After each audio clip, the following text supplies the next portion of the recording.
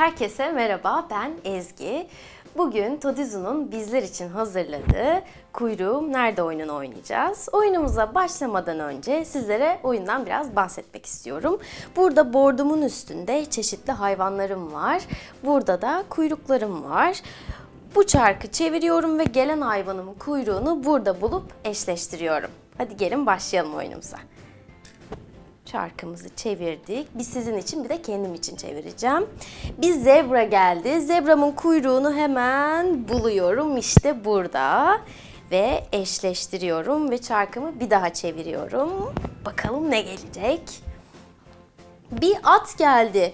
Atımın kuyruğunu da işte burada hemen buldum ve eşleştiriyorum ve çarkımı bir daha çeviriyorum bir fare geldi.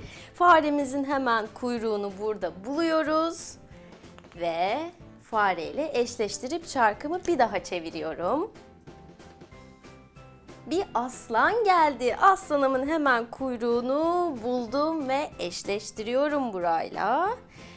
Bir daha çeviriyorum çarkımı. Bir inek geldi. İneğin evet işte burada kuyruğu da. Bunu da eşleştiriyorum ve çarkımı bir daha çeviriyorum. Bir tavuk geldi. Tavuğun kuyruğu işte burada.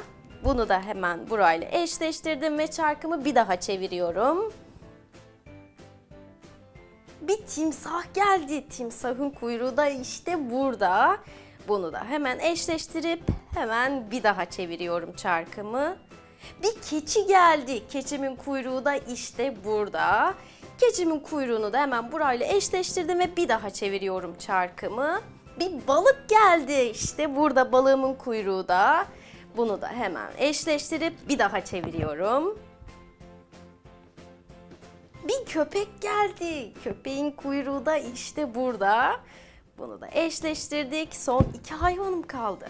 Bir balina geldi. Balinamızın kuyruğunu bulup hemen eşleştiriyoruz ve son bir hayvanımız kaldı. Bir fil geldi. Filimin kuyruğu da işte burada. Bunu da eşleştiriyoruz ve bitirdik. Bu keyifli oyunu benimle oynadığınız için çok teşekkür ediyorum.